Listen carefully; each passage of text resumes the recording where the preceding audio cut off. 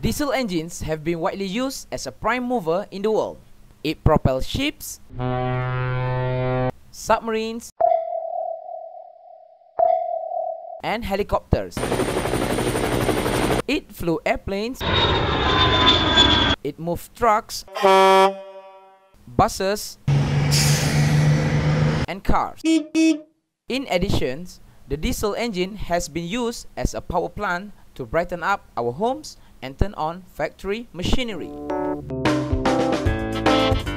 There are several parts we must know before understanding diesel engine working principle. Diesel engine have two door for entrance and exit. The entrance door called inlet valve. It permit only air enter to the system.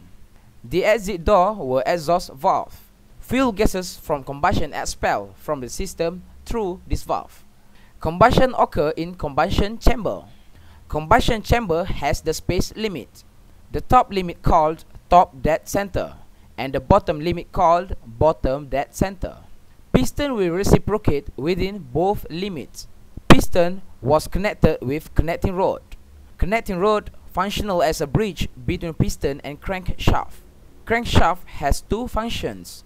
First, it transfer energy from the engine to a mechanical shaft. Second, it help piston movement by its momentum.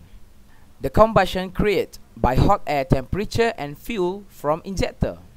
Injector will spray diesel mist in combustion chamber that contains hot air. There has four stroke that important for four stroke diesel engine operations. The first stroke is called inlet stroke. Inlet valve was opened and exhaust valve was closed. The piston moved from top dead center to bottom dead center. Air enters the combustion chamber through inlet valve.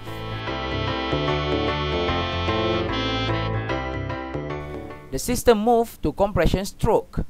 In compression stroke, both inlet valve and exhaust valve is closed. Piston moved from bottom dead center to top dead center. Air was compressed, air temperature and pressure increased.